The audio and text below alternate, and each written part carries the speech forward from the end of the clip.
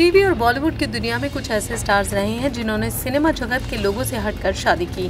हम आपको आज टीवी की उन जोड़ियों से मिलवाएँगे जो दिखने में कहीं से भी परफेक्ट नहीं लगती।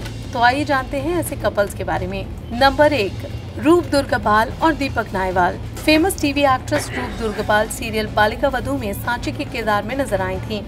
उन्होंने दीपक नायवाल से शादी की है, जो स्पोर्ट्स चैनल के क्रिएटिव डायरेक्टर हैं। नंबर दो टीवी सीरियल नागिन की शरिका रैना ने सीरियल कुमकुम भाग्य में किरदार निभाने वाले एक्टर शब्बीर आलूवालिया के बड़े भाई से शादी की है। देखने में इनकी जोड़ी कहीं से भी परफेक्ट नहीं दिखती। नंबर तीन तोरल राजपुत्रा। फ़ेमस सीरियल बालिका वधु में आनंदी का किरदार निभाने वाली एक्ट्रेस तोरल भी शादीशुदा हैं, लेकिन देखा जाए तो इनकी जोड़ी भी कुछ खास नज़र नहीं आती।